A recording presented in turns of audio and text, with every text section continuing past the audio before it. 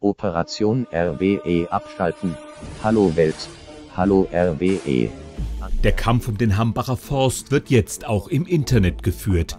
Hacker haben den Energiekonzern RWE ins Visier genommen. Am Montag war die Website des Unternehmens immer wieder nicht oder nur schwer erreichbar. Eine Unternehmenssprecherin bestätigte den Cyberangriff. RWE habe Anzeige gegen Unbekannt erstattet.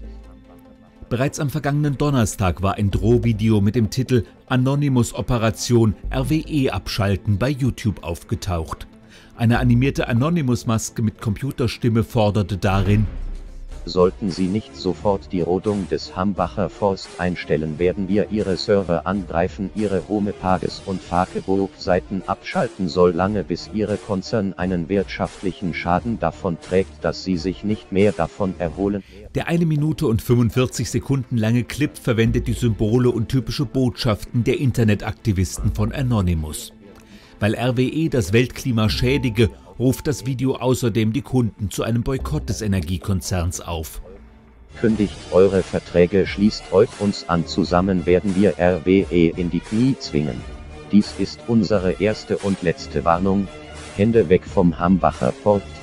Laut Angaben von RWE haben Hacker mit einer Flut von gesteuerten Anfragen die Server des Unternehmens lahmgelegt.